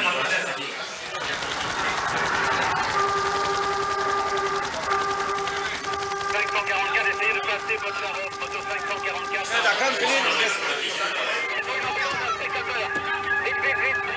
Une minute 40, une minute 40 du trio de tête. Tu as un retard sur le groupe de tête, 1 minute 40. Allez, Vino, allez. Il a déjà 10 secondes d'écart. L'écart entre Vinokourov et Armstrong devient très intéressant. La cinquième place est à la portée de Vinokourov. C'est maintenant, maintenant qu'il doit tout donner.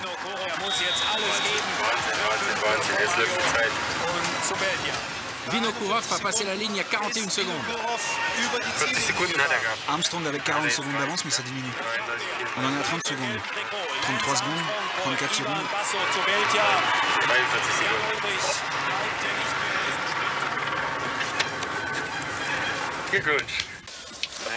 Ah, J'avais les jambes coupées aujourd'hui. Ouais, quand tu n'as pas de jambes, tu peux pas rester devant.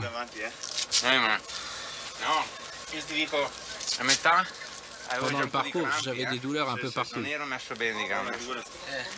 Le plus dur, c'est les deux derniers kilomètres. À cette vitesse, je n'aurais pas pu tenir plus d'un kilomètre. Alors que toi, tu as roulé comme un dieu.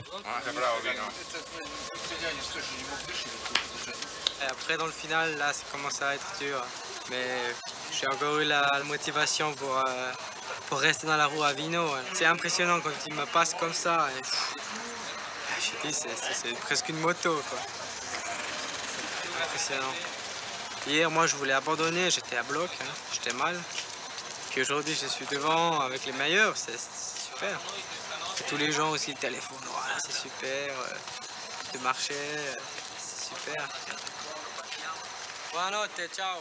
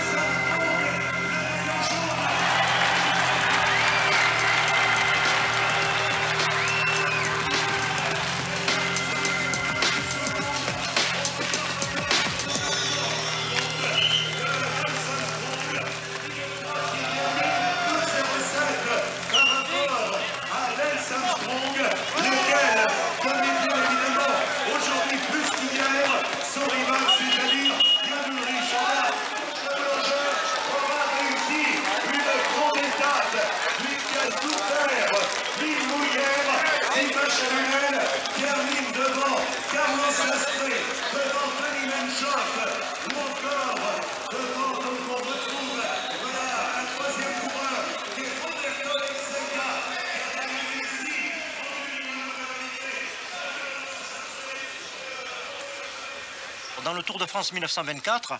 À l'époque, les routes sont non goudronnées, parfaitement infernales, pleines d'ornières, et les silex giclent sous les pneumatiques.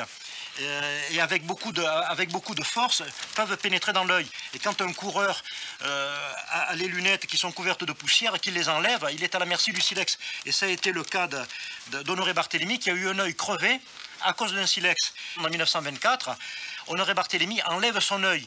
Et quand on ne sait pas, euh, c'est un œil de verre. Mais la première fois, on se demande ce qui se passe. Et cet œil de verre le fait parfois souffrir et il le remplace par un morceau de coton.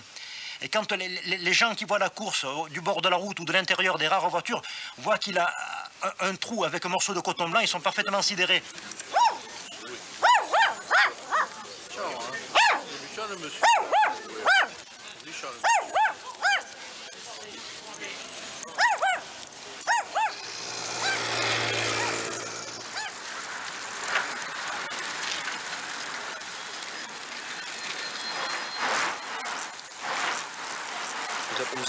Je me rends compte que plus tu vieillis, plus tu as peur. On est tous déjà tombés, bien sûr. On a les genoux, les coudes abîmés. Et c'est sûr que ça fait très mal. Mais si tu commences à cogiter pendant la descente, tu as beaucoup plus de risques de te blesser.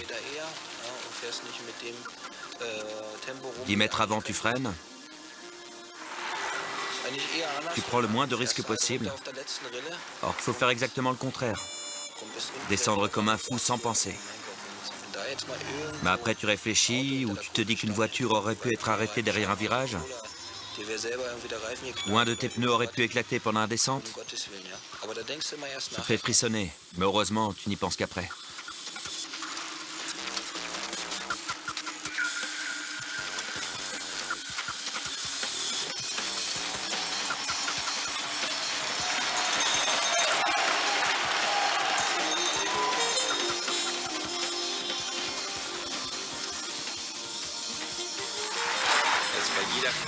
À tous les risques que tu cours, à chaque piège qui pourrait se cacher dans les virages, et si tu ralentis, les autres te passeront devant et prendront de l'avance. Le soir, dans la chambre d'hôtel, tu te demandes si c'est bien raisonnable de rouler à 95 km/h en descente, sachant que nos pneus ne font que 21 mm de large, et que nos patins de frein sont minuscules. Et là, tu te dis en fait que ce n'est pas du tout raisonnable. Pendant la course, ça ne te vient pas à l'esprit.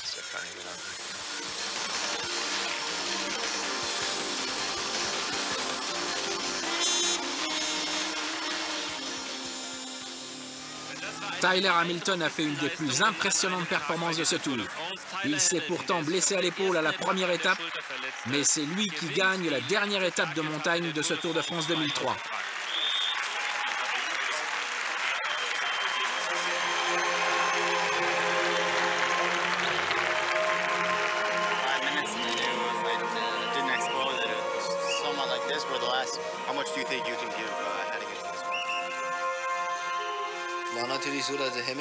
Il y avait Hamilton devant qui roulait aussi vite qu'une moto.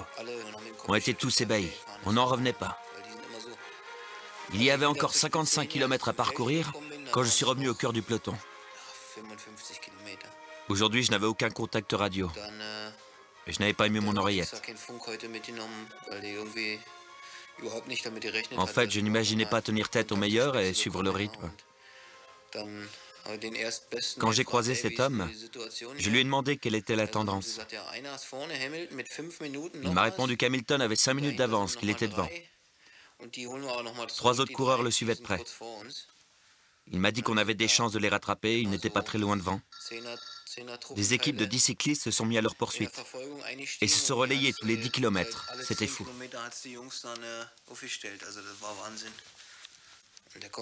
Mais c'est Hamilton qui a quand même gagné, avec deux minutes d'avance.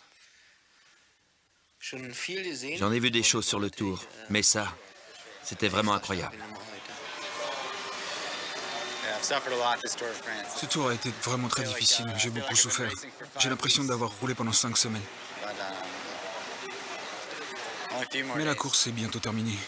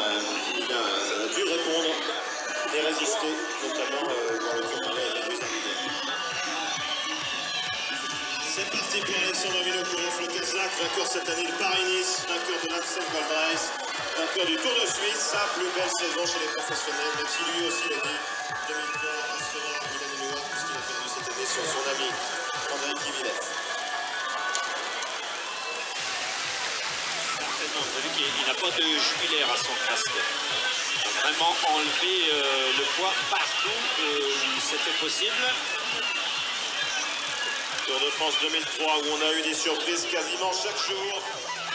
Ulrich était à 2 minutes 10 d'Armstrong après l'Alpe d'Huez.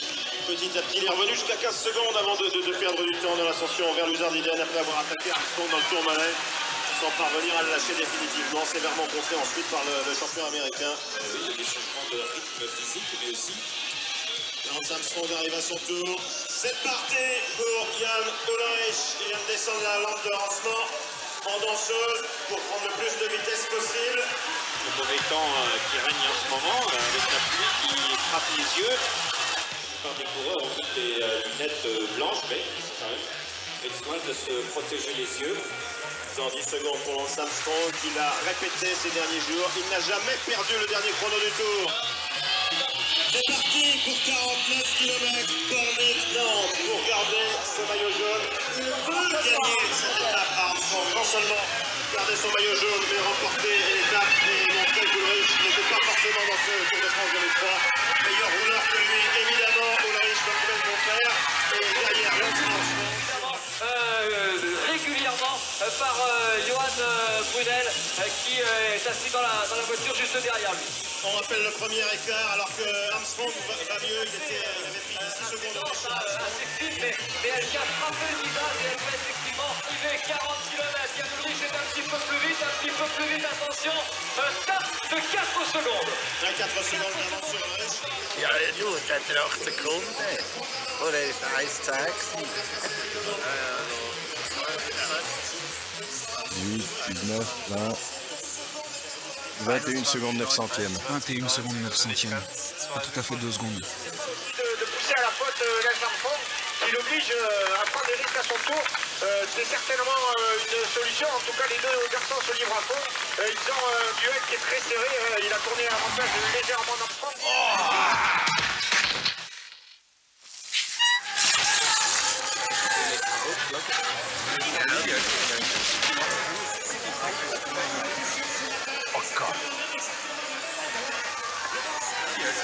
Ah, il avait déjà perdu le Tour de France avant ça, de toute façon.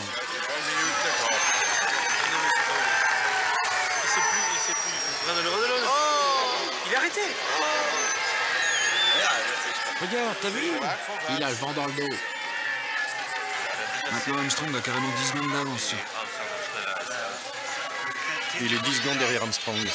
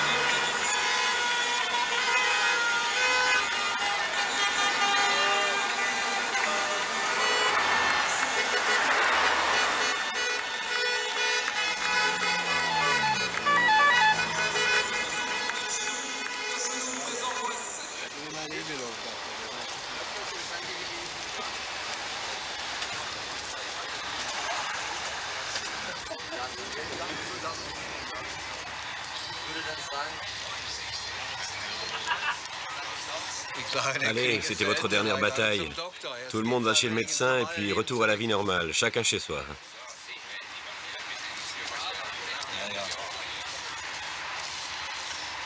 Oui, c'est fini. C'est le dernier jour. Si on me demandait de choisir entre rentrer à l'hôtel ou rouler encore, je choisirais de rouler. On peut dire que c'est mon signe. On veut tous se surpasser dans un tour. On va au bout de nos forces. On se surpasse carrément. C'est normal parce qu'il y a un monde fou. Ce circuit est le plus grand du monde. Un tour fait 6 km. Il y a tellement de spectateurs qui vous encouragent. C'est incroyable. C'est la dernière occasion d'avoir un contact avec eux. C'est hyper important. Chaque coureur dans son coin pense qu'il va avoir son échappée et il veut être de la partie. Il ne veut pas être en reste. Il veut montrer une dernière fois ce dont il est capable. Pour les trois premiers de la course, c'est le tour d'honneur qu'ils ont bien mérité. Pour les autres, c'est l'espoir de se démarquer en réalisant un coup d'éclat.